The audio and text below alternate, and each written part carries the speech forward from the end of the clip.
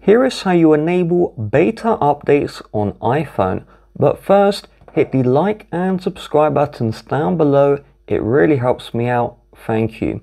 So the first step is we need to open this website, developer.apple.com. We now need to tap the two dots at the top left and then we're going to select account and we need to sign in with our Apple account. This is completely free to do. You don't need to be in a paid developer program to do this. Once signed in, there'll be a terms and conditions prompt. Agree to the terms and conditions and you're good to go. Do not select the enroll today, so don't select that option. If you get errors when you try and, you know, sign into the Apple developer, this is because, you know, your Apple ID is either under the age of 18 or you're from the Eastern Hemisphere. So if you can't do what I showed earlier, you will head to account.apple.com, then tap the lines at the top right, and then create a new Apple account.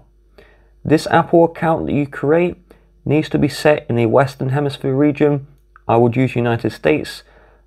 And then just go through, fill in your details, make sure your phone number is real. When it asks for address, if you aren't using your real address, Google fake address generator US and then go on the website and just copy and paste the fake US address into here. Once that Apple ID is created, we need to go into our Apple account, which is at the very top of settings. You will need to sign out of your Apple account temporarily. So just tap on the sign out option. Once you're signed out, sign in with the new Apple account you created then you should have the beta updates option, update to the beta, and then you just need to remove your Apple account, sign out, and then you should be good to go. Sign back in with your regular Apple account, and that's it.